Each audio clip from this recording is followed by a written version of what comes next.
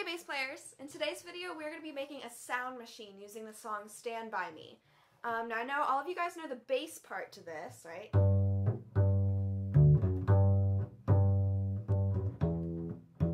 And the sheet music is included uh, with the link to this video if you don't remember it.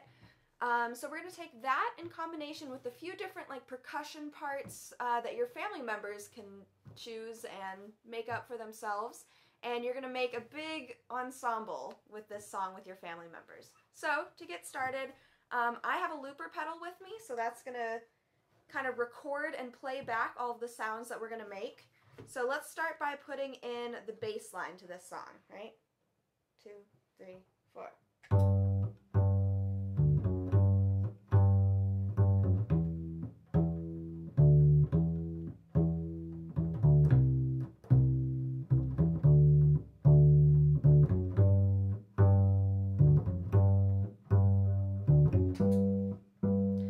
To keep playing back. Um, so in this, you're to continuously play this line while your family members do some other parts. So the next part, have one family member is to be like our bass drum kind of. So they're to find something on your bass is one option, um, on their legs or on any other like a bucket, a pan. Find something to make some percussive noises with and try this rhythm.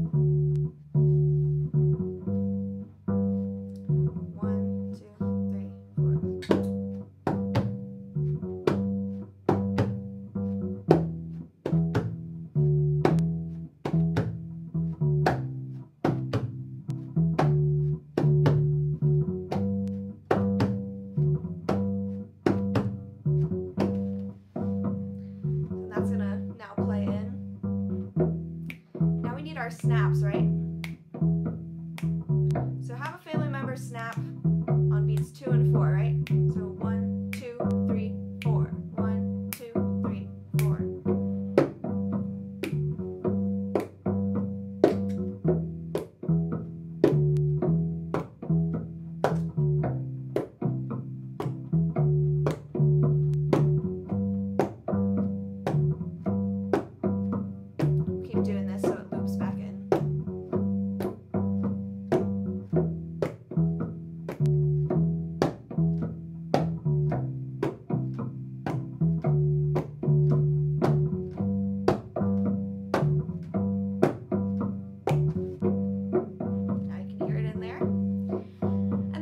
A rhythm or two of your own, something that fits in with this bass line. And remember, you bass player, you gotta keep playing while all your family members are doing this. And the goal is to get it all to line up rhythmically.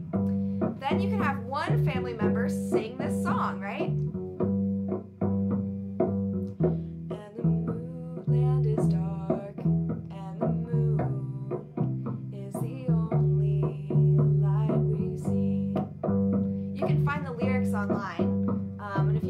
song, pick a family member to sing along. So that's it. That's how you make a sound machine with this song.